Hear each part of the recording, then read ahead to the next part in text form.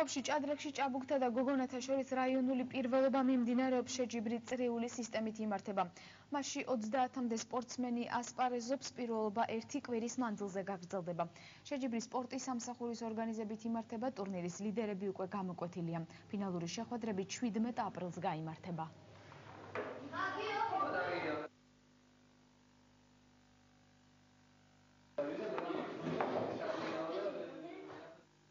ეს ტურნირი უპირველეს ყოვლისა ემსახურება ნიჭიერი პერსპექტიული ბავშვების გამოვლენას. და ვფიქრობ, რომ ამ ხრივ ტურნირმა მართლაც რო გაამართლა.